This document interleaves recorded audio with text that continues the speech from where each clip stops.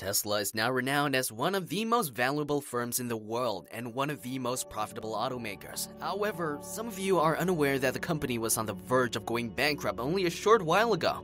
Elon Musk single handedly saved Tesla from going bankrupt, and he talked about it a while ago. Hey guys, welcome back to the channel. In today's video, we will show you how Elon Musk saved Tesla from going bankrupt. Tesla CEO Elon Musk wasn't always convinced that his electric car company would succeed. When we first started Tesla, we thought it would fail. Tesla, in particular, we thought have a very low chance of success, Musk said. But as we all know, Tesla grew to become one of the biggest companies in the world, and Musk made it a reality. Tesla was launched on July 1, 2003 in San Carlos, California by two engineers Martin Eberhard and Marc Tarpenning. The name of the company is a tribute to inventor and electrical engineer Nikola Tesla. Eberhard and Tarpenning held the positions of CEO and CFO respectively. Eberhard stated that he wanted to create a car manufacturer that is also a technological firm.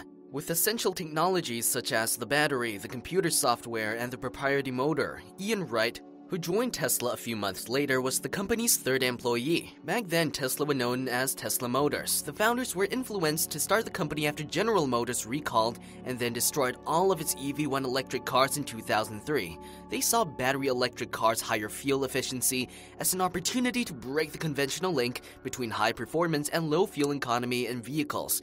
Elon stepped into the picture when the founders were looking for financial resources. He made a fortune when the financial services company he co founded, X.com, merged with a competitor to form PayPal. Elon walked away with $180 million when eBay bought PayPal in 2002. He then invested all of his earnings into new ventures. He invested $100 million into SpaceX, $10 million in Solar City, and $70 million in Tesla, including $6.5 million at the start, and became the company's chairman of the board. I thought the probability of success was so low that I provided all of the money. All of the money just came from me personally. I didn't want to ask any investors for money if I thought we were going to die because I thought we were. I invested entirely the money that I got from PayPal. All of that got invested into Tesla, Solar City, and SpaceX, Musk said. Tesla had a banner year in 2006. The Roadster debuted in 2006, only three years after the start of the company, a stylish and quick electric car. The company's strategy was to begin with a premium sports car aimed at early adopters, followed by sedans and cheap compacts. The car had either 248 or 288 horsepower depending on the model, and it could go from 0 to 60 miles per hour in 3.7 seconds and cover 245 miles on a single charge. However, there were quality issues as well as several production problems. Eberhard was eventually fired as CEO before the Roadster even got into production, which didn't happen until 2008. Tesla was about to run out of capital. The business projected 25 million for the Roadster's development, but it ended up costing 140 million, roughly 5 times the budgeted amount. Tesla had just 9 million remaining to fund the entire firm by the fall of 2008. It was a chaotic period for Tesla, with numerous CEOs coming and going, and Elon was eventually left in charge. He mentioned this in an interview regarding the major decision he had to make whether to let Tesla perish or keep it alive with considerable pain. He chose to keep Tesla alive, but it couldn't have been more difficult. However, when the financial crisis arrived in 2008, like other automakers, Tesla was on its final legs and desperately needed cash to survive. General Motors and Chrysler both got billions of dollars in government bailout funds in December 2008 to stay afloat. However, Tesla still needed a miracle to continue in business. Elon worked hard to save his companies. He laid off 25% of Tesla's workers and asked the support of friends to cover payroll. But by 2008 December, Tesla was on his way out. Nonetheless, he did not give up.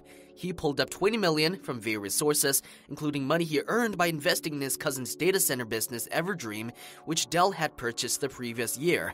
Investors agreed to match his efforts.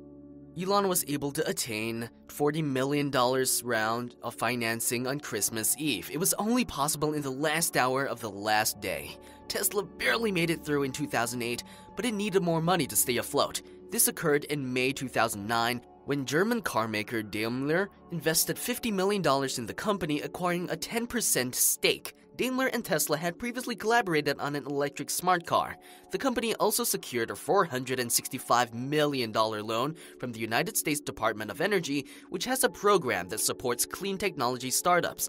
Tesla found a more stable answer the following year when it went public for $17 per share.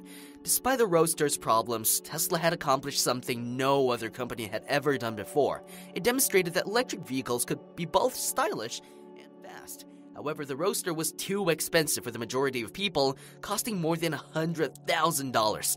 So, they made another car, Tesla shocked the world when it began shipping the Model S sedan in 2012. The Model S could travel more than 300 miles on a single charge and was less expensive than the Roadster, though still costly.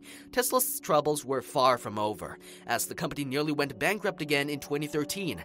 Despite the Model S's great demand, customers who put down a $5,000 deposit were hesitant to complete their purchase. There were numerous reasons for this, including complaints about the interior, kinks of the vehicle, and some of the first versions lacking parking sensors and cruise control, which are standard features in high end automobiles. Concerns were also raised about the resale value. When Elon discovered the problem, he did three things. First, he made every Tesla employee a salesperson.